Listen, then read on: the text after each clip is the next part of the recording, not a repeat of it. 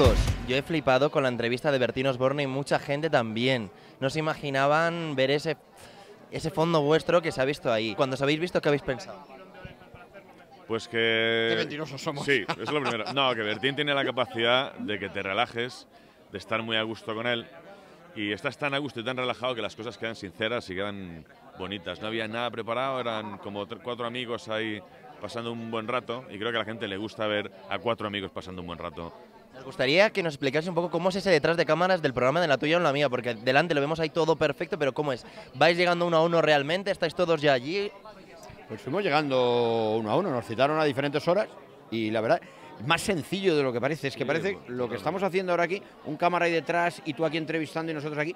Que dice, bueno, si aquí tampoco hay tanto atrezo, los que estamos acostumbrados a Masterchef, que es una superproducción y hay 80 personas por plató dando vueltas, y no sé qué, 10 o 12 cámaras y tal, y aquello con qué poquito se puede hacer algo tan bueno. ¿no? es así, yo- al final el talento y la capacidad de la gente se ve en, estos, en estas pequeñas cosas. ¿no? Cuando ves a alguien hacer algo que es muy difícil, hacerlo tan fácil y tan sencillo. ¿no? ¿Os gustó el león con gamba realmente? Pues no lo probamos. No llegamos a probar. no Yo llegamos sí, a- yo probé el Ah, gazpachito. yo no lo llegué a probar, yo no lo llegué a probar, por suerte, claro. Pues no estaba bien, pues estaba bueno.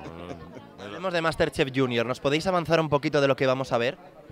Buah, eso va a ser Bueno, pues fantástico. esta semana toca disfrazarnos de mayores. Nos hemos estado disfrazando en estas dos Pues primeras imagínate, programas. yo estuve cinco horas de maquillaje ahí sufriendo. Pepe en cinco minutos no tenía arreglado. Sí, la verdad es que lo pasamos muy bien. Es una transformación que para algo, para nosotros era algo nuevo, ¿no? Y disfrazarnos de mayores, hacerles entender lo que es la cocina de los abuelos, Se de tal pone un chándal, una Sí, cadenita. Hasta hay que verle. ¿eh? Oye, que parece que salgo de la censa. De Y Samantha con el cocaína, taca-taca, genial, genial.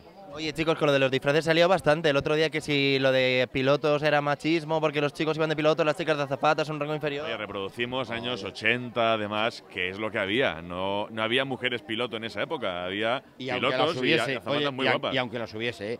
eso me parece que una tontuna tan grande, de verdad, todavía pe- Eh, poder nosotros, pensar en el si nos teníamos que 2016 poner de azafatas y Claro. Eva y Samantha de piloto, No nosotros pasado encantados, nos lo habríamos pasado pipa. Claro. O sea que